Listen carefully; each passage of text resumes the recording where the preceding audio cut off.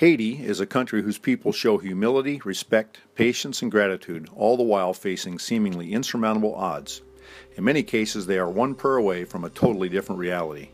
They passionately embrace the gospel, and there are thousands of men and women asking to be taught entrepreneurship in pursuit of becoming job makers and not job seekers in order to provide for themselves.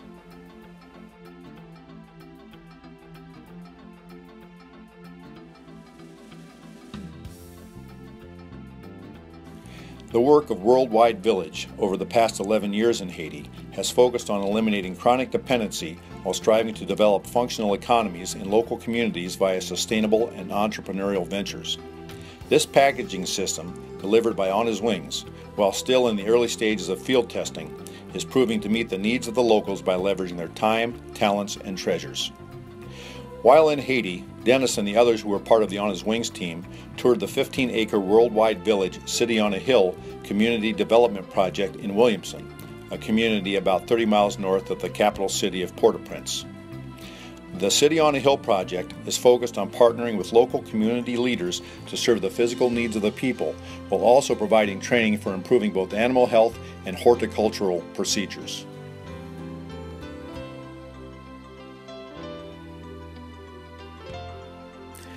The team also toured the fishing village operation in the community of Luly, a nearby oceanfront community. In Luly, Worldwide Village has a joint development partnership agreement where local refrigeration and storage capacities will be expanded to meet market demands. The proximity of Haiti to the Windward Passage and the north flowing currents off the Venezuelan coast offers access to the path of major fish and seafood migrations. This includes tuna, marlin, crab, lobster, bonito, and sardines.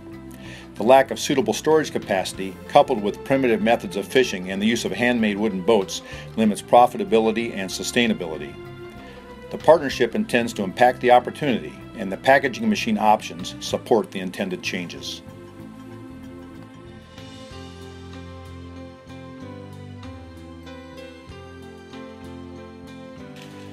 Local fisheries in other areas of the country have been moderately successful in small ponds where irrigation and drainage ditches are common, but those locations are limited to native fishes like carp and turtle. The Haitian culture is seeking greater access to fresh fish, but a lack of suitable transportation, no acceptable packaging, and non existent processing facilities are crippling the industry. Hopefully, you can sense our holy anticipation and will join your prayers with ours. We are praying for God to help us develop relationships with Haitian entrepreneurs who possess the passion and determination to successfully roll out the multifaceted packaging machines. We also recognize that our Haitian brothers and sisters are only one decision away from a completely different eternity.